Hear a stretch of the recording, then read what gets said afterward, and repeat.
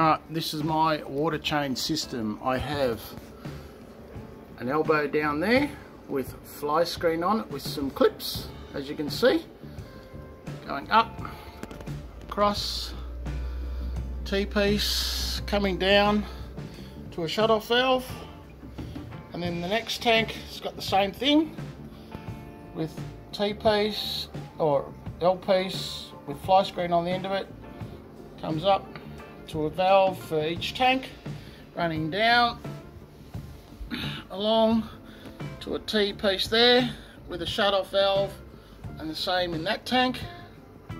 As you can see comes up down and I've actually got it working at the moment. So that valve's open comes down to an elbow comes across and then it comes into a, a Y fitting. Now what I've got is that is out so the water's actually draining at the moment. And that is the water going in. So that is on, that is off. So at the moment, I've got that valve open, that valve open, and it's draining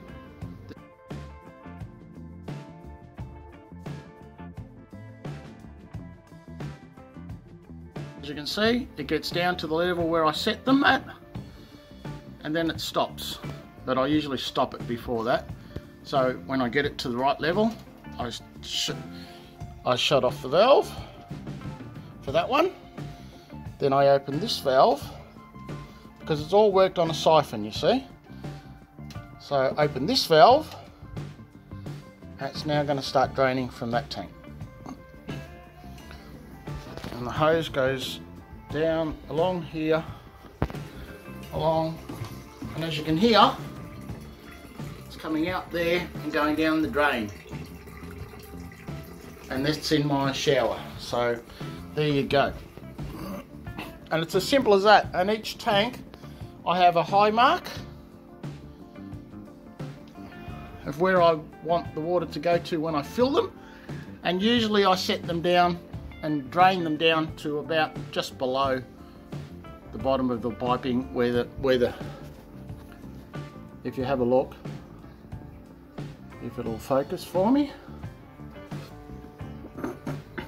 So you can see that the water's kind of below the clear but above the rest of it.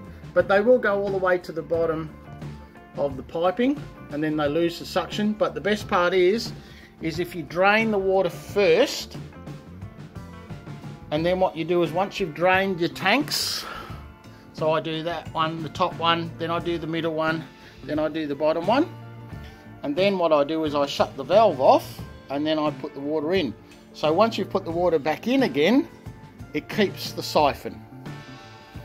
Because at all times there's always water in the pipes. So what I do is always drain the tanks first, all of them, to where I want, and then I fill them up one by one at a time. Which is, and then this pipe is the ins is coming from my IBC with a pump there. And it's a remote control. So I push the button on the motor. I push the button on the remote. And it starts the pumping from there into that fitting that you saw. So the water comes in comes into here. And when I finish draining I shut that valve off. I open that valve push the button on the remote and then the water comes in and fills the tanks. So there's always water in the pipes and it keeps a siphon and that's my way of doing my DIY water changes so all I have to do is connect the two pipes one to the shower one to the pump and works every time very simple no drilling holes in tanks always keeping a siphon and it works every time. Alright, as you can see I've drained that one and so see I have a fill mark and a drain mark. So what I do is I drain each tank to the each level and it's usually about a third of a tank. So I do a third of a tank every two weeks. So as you can see I've done that tank so I shut that valve off and then I go down and I open the valve on the bottom tank and then that tank slowly drains to the level that I want it to as well.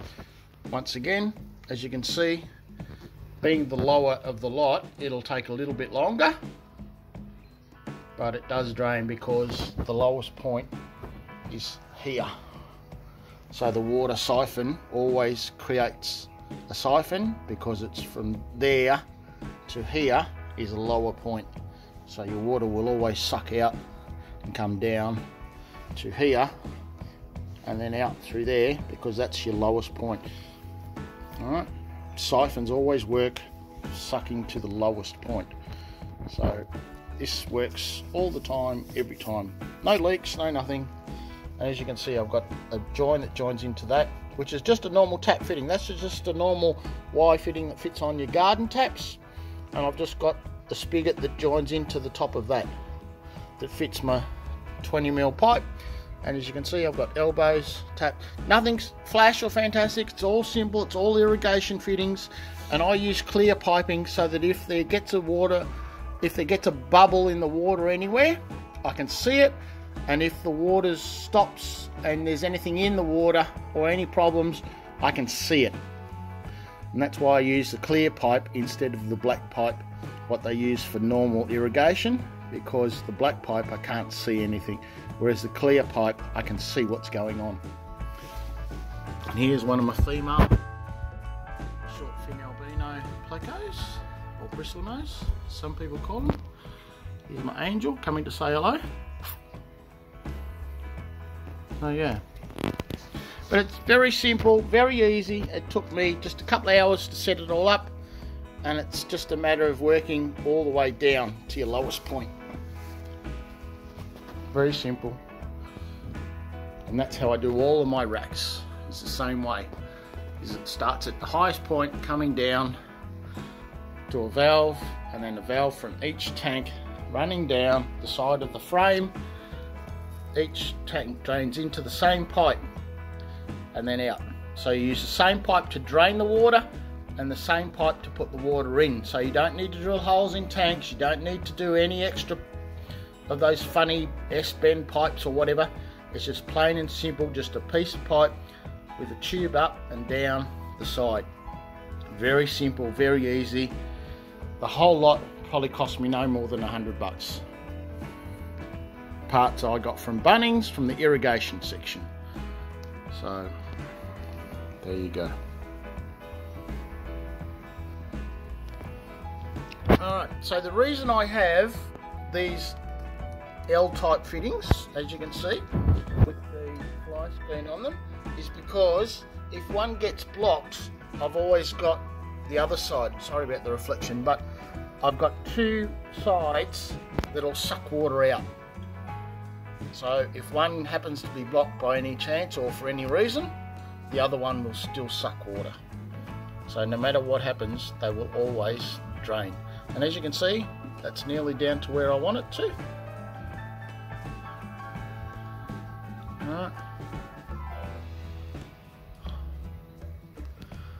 So what I do is I, I then stop the drain. That one. So once I've stopped the drain, or it draining, so what I do is I leave the valves as they are for that tank, and then what I do is I use my remote here for the pump, is I'll turn that valve on, and then I'll turn the pump on, and as you can see, it now starts filling the tank. As simple as that. So that the drain is now off. This one is now on, which is from the IBC tank outside. And as you can see, and you can hear the noise, it is now filling the tank. So it doesn't take very long to fill the tanks. And I usually drain from the top, then drain the next one, then drain the bottom one, and then I fill the bottom one and work my way up because the valves are already open.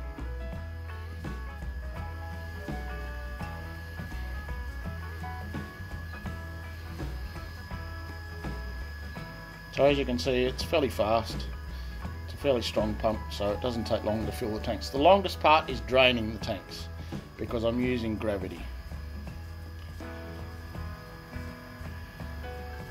Alright, so then what I do is when I get it to the level I want,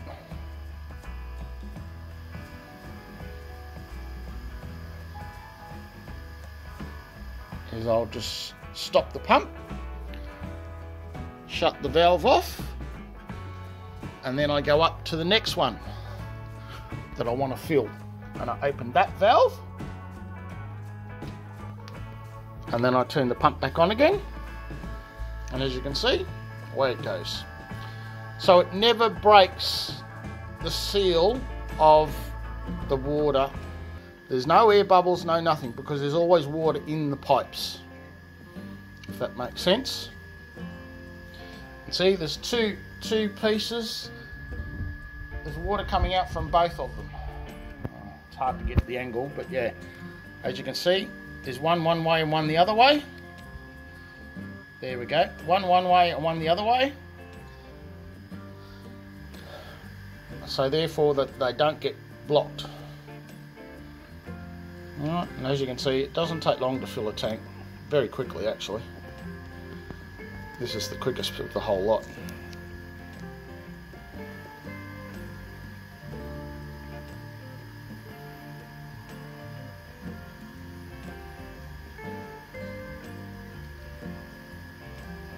And I've already put the chemicals in between the, when the tanks were drained before I started pumping the water in, which I didn't show you. But I've put the water conditioner in and I've put some um, chemicals stuff for the plants to help the plants grow. So as you can see, that's at the level that I want. So I stop the pump. See, it's still got water in the system. So I turn that valve off. I then open this valve there's no air in the system. A couple of bubbles then, and then up it goes, and it now fills the top tank. And therefore, this way, it always keeps water in the pipes, so therefore it doesn't break the siphon at all. And then it's ready for when you want to start again, because then when you do it next time, is you start at the top and work your way down once again. Very simple, very easy, and anybody can do it. And like I said, it only took me a couple of hours the other week to do this lot of tanks. And this is how I do all my tanks. Alright, and these, just so you know, these are push fit connectors. So be careful once you slide the tube on, you will not be able to slide the tube off, which is very, very hard. And that's why I don't have um, crimps or anything over them because the tubing fits very tightly over the connector and once you get it on you cannot get it off. It's very very hard. The only way to get it off actually is to heat the pipe and use it and pull it off very quickly while it's still hot so as you can see once again very quick very easy to fill the tanks. And that's it. It's as simple as that. And it's a very simple, easy system. Alright, so I stop the pump. I go down to the valve, turn the valve off,